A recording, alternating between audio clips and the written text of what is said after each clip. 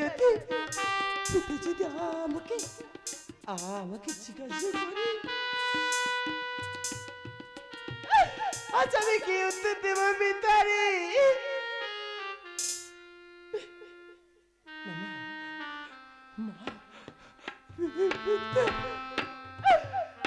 মাতা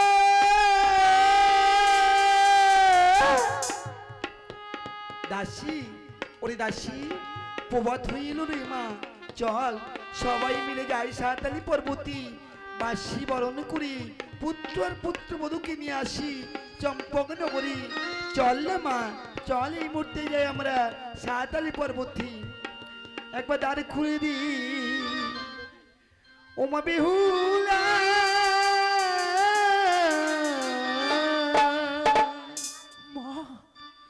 স্বপ্ন দেখি। ইলামি ছুটি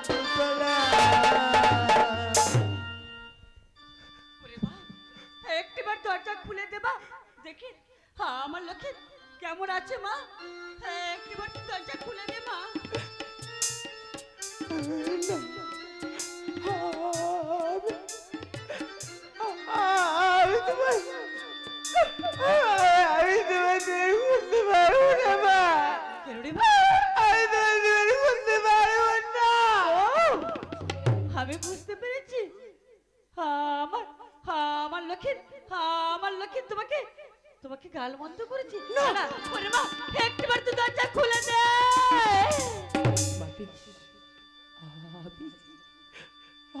আমি তোমার আমি তোমার এই মুহূর্তে এই বাসনে তোমার খুলে দিলাম। তোমার চোখের জল? কি হয়েছে মা? একটিবার একটিবার বলো না আমার কাছে বলো না। মা।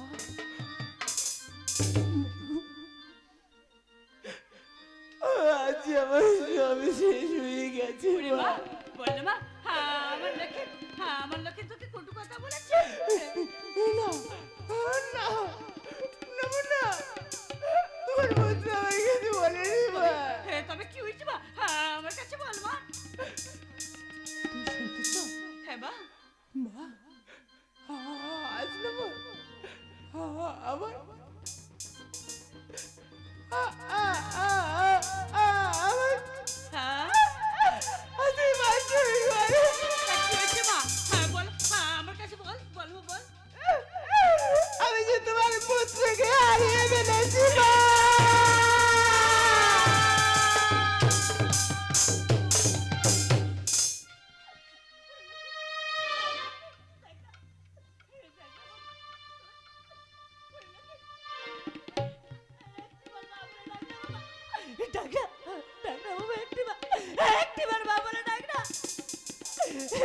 একটিবার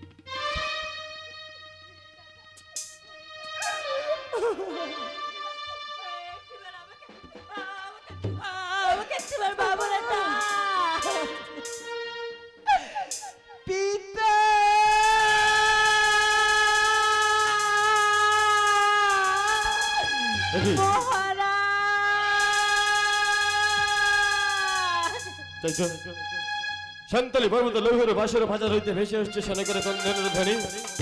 বধুমাতার কন্দেনের ধ্বনি। তাহলে সেই সান্তালি পর্বতে লৌহের বাসের ঘরে কোনো অনর্থ অমঙ্গলে ঘটে গেছে নাকি? না না। আমার মনটা কেন কু গাইছে? পঞ্চরেগণ এসো, আজ আমার পুত্র লক্ষিণ আজ আমার বধু মাতার বাসির বিয়ে বরণ করে নিয়ে আসব আমার রাজপ্রাসাদে। তোমরা এসো, বৃথা বিলম্ব করো না বোন তোমরা তরা করে এসো।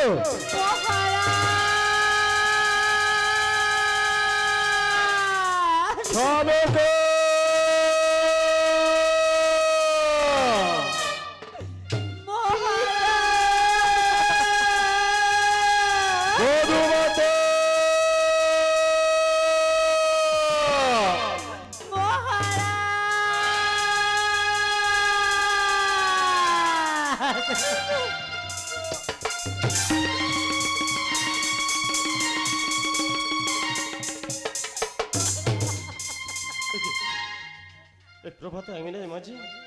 তোমরা এমন করে কন্দন করছে কেন কেমন কেন এমন করে অস্তি বাড়ি ঝরে যায় বধুমতে কি হয়েছে সনকে তুমি এমন করে আমাদের আমার যে আমাদের পুত্র আমাদের পুত্র কি হয়েছে আমি লক্ষ্মী আমাদের পুত্র আমাদের ছেড়ে যাচ্ছিল দিয়ে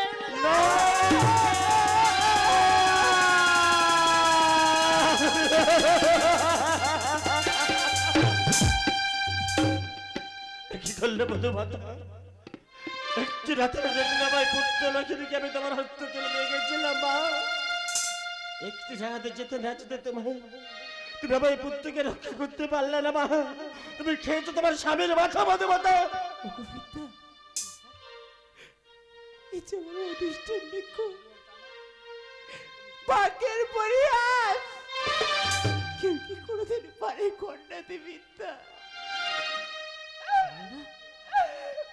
না না মহারাজ।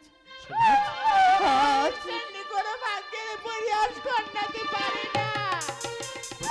পারে না বিদ্যা পারে না। মধুমাতা তুমি সতীত্ব ভ্রমণে দিয়ে পঞ্চকুড়ি লইহের কলাই বানিয়ে রন্ধনে করে সতীত্ব ভ্রমণে দিয়েছিলে মধুমাতা। আজ আমি তোমার উপরে বিশ্বাস করে একটি রাতের জন্য আমার এই পুত্র লক্ষ্মীকে আমি তোমার হস্ত তুলে দিয়েছিলাম মধুমাতা আমার একমাত্র নয়নের রমণীকে তুমি সারা জীবনের মতো আমার কাছ থেকে কেড়ে নিলে মধুমাতা মহারাজ আজ আজ আমার মা বলার মতো কেউ নেই। আজ আমাকে কেউ মা বলে ডাকবে না কেউ তোমাকে পিতা পিতা বলে ডাকবে না। বলো না বলো না মহারাজ আমি সর্বহারা। তুমি আজ বাবুল বলি হতে হয়ে গেলে। তুমি ছয় ছয়টি সন্তানকে হারিয়ে আমি, আমায় ছিল আমার একমাত্র মা বাবা বলা বলির ধন, একমাত্র পিতা পিতা বলি বলা ধন আমার। তাকে তো সারা জীবনের মতো আমাদের কাছে হইতে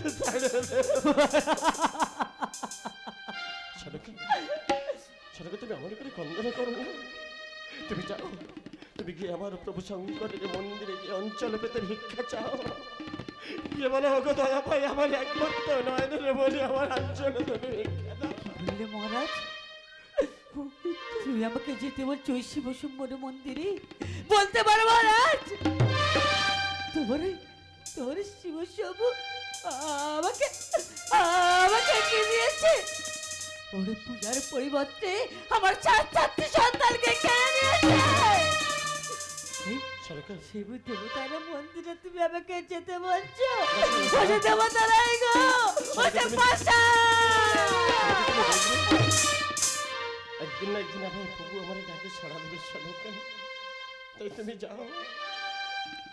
আমার লক্ষ্মীদের প্রাণে ভিক্ষা চাও আমার বিনাকে সংস্কারের কাছে গিয়ে। বেশ মহারাজ।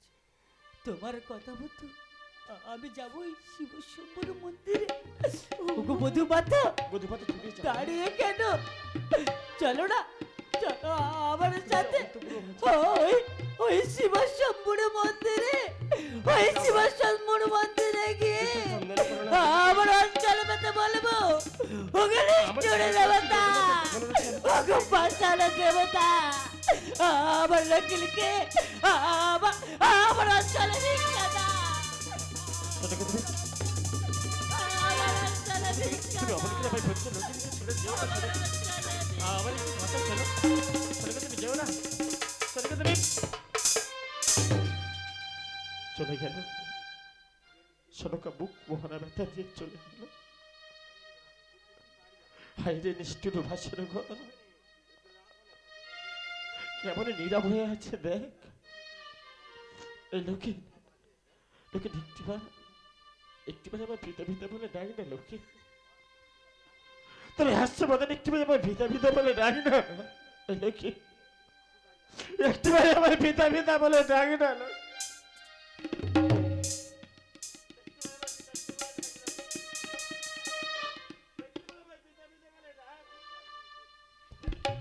পিতা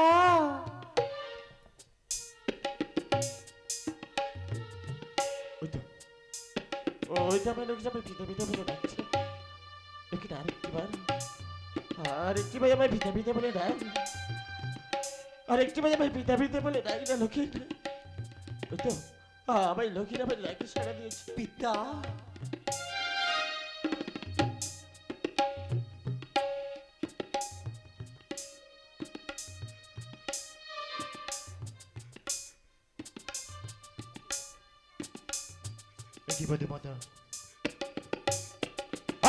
আমার কি তুমি?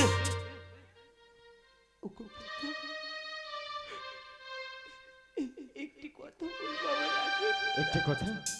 বুদ্ধিমত্তা এই আবেগের সময় আমার আবেগ কি বলে আছো তুমি? বলো বলো বুদ্ধিমত্তা তোমার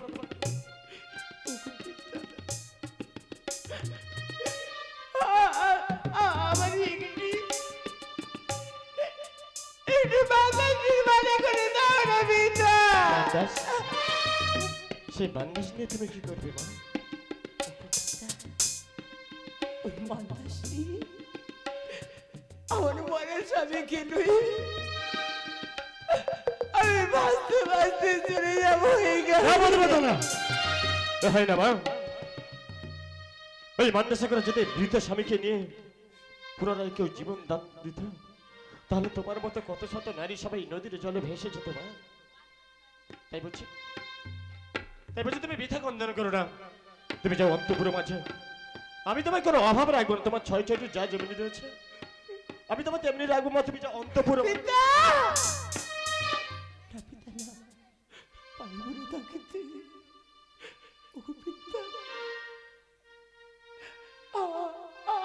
আমি আমার স্বামীকে মধুমতা! আমি থাকতে পারব না এই দাও, দাও, না পিতা দাও, দাও, দাও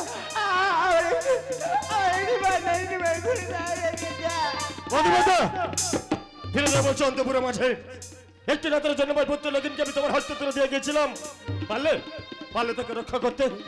মধুমতা না আমি বলছি তুমি ছেলে মানুষই করো না। তুমি যাও অন্তপুরে মাঝে যাও।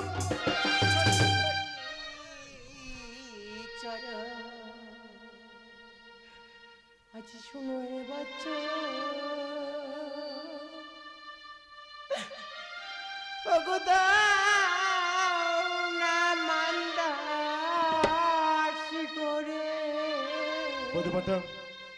শ্বশুরি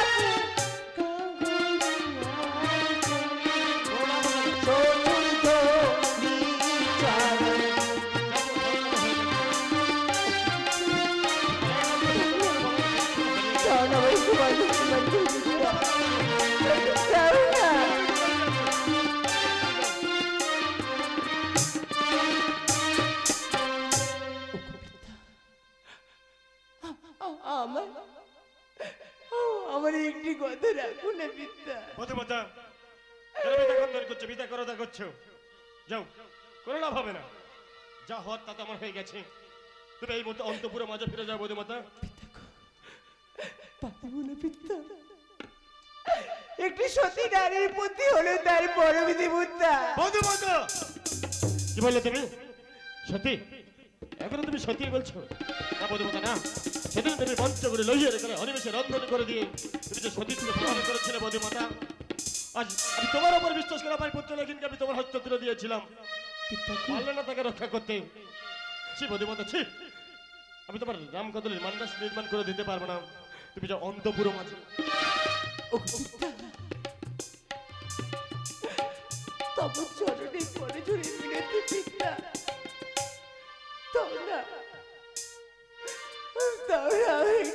নির্মাণ করে তাহলে করি বেশ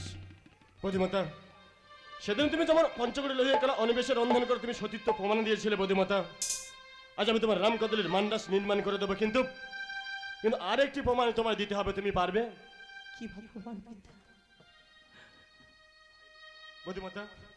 আচ্ছা বলো তো মা যে চুল হাওয়া লাগলে উড়ে যায় সেই চুলে চুলে গিট দিয়ে চুলের সাগরে নির্মাণ করে দিয়ে নিচে দেবো হীরের ধার।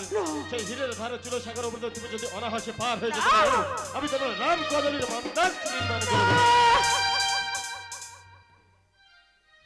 পারব। পারব বিদ্যা পারব। বেশ ক্ষণকাল করে অপেক্ষায় কি আছি? চুলের সাগরে হৃদয়ে পার হয়েছে দেখি এই মুহূর্তে এখানে একটা চুলের সাগর হীরের দ্বারা নির্মাণ করে দাও। বিদ্যা আমি বলছি, এত বড় কঠিন পরীক্ষা মাধ্যমে পারবে না। তুমি যাও, অন্তপুরে পাবে কেন তুমি ছেলে করছ? তুমি যাও। চুলের সাগর হেলে তার পারো থেকে যদি আমার এই ক্ষুদ্র জীবনটুকু বিসর্জন দিতে হয়, পিতা, আমার এই জীবনটুকু আমি আস্তে আস্তে বিসর্জন দিয়ে দেবো, পিতা। আমি আস্তে আস্তে বিসর্জন দিয়ে দেবো, পিতা। আজ চুলের সাগর হিরে রোধা বেহুলা পার হয় গো একবারে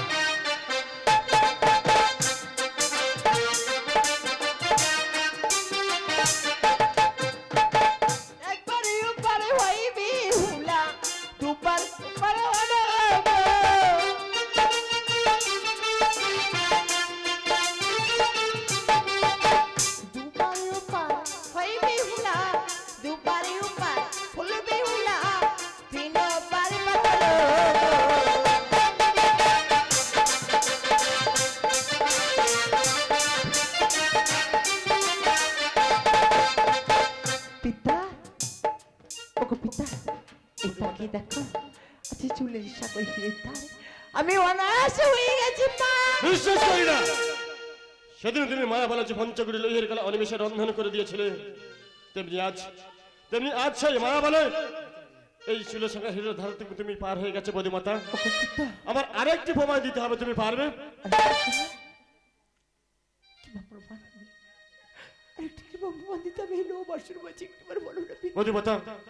এখানে আমি একটি অগ্নি প্রজ্বলিত করব। সেই অগ্নির মধ্যে তুমি যদি অনায়াসে ঝাঁপ দিতে পারো হয়তো আমি তোমার রামকদলের মান্দাস নির্মাণ করে দিতে পারি।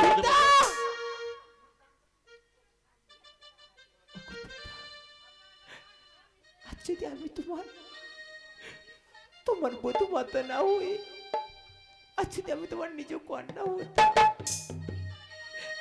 পারতে না পিতা পারতে নাকি আমি পারতাম। আমি পারতাম বদিমাতা কারণ কারণ আমি যে অহংকারী রাজা। আমি পারতাম বদিমাতা আমি পারতাম এই মুহূর্তে এই মাঝে চুলের সাকরি নির্মাণ করে দিয়েছিলে যেমন তেমন ভাবে অগ্নিতাও প্রচলিত করে অনায়াসে দেব ছাড়ত। অগ্নির ভিতরে! এখানে একটি অগ্নি প্রজ্বলিত করে দাও। পিতা এই তো। এই তো তুমি অগ্নি প্রচলিত করে দিয়েছ